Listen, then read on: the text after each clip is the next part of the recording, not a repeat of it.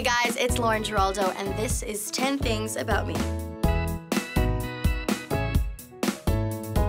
The instruments I know how to play are, I have to count this one because there's so many. None.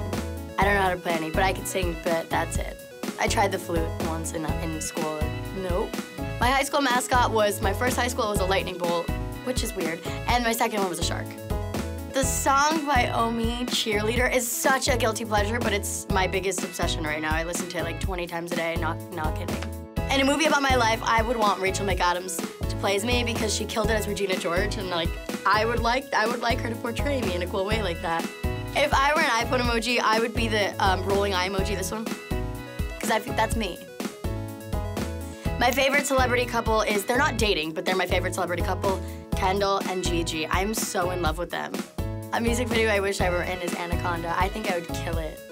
If I could swap lives with any musical artist for one day, it would be Beyonce. I mean, just no one would even, no one would mess with me. I would just be on top. I would love to see what that feels like. A song that always gets in my head is Milkshake. My milkshake brings on the always. It's so catchy.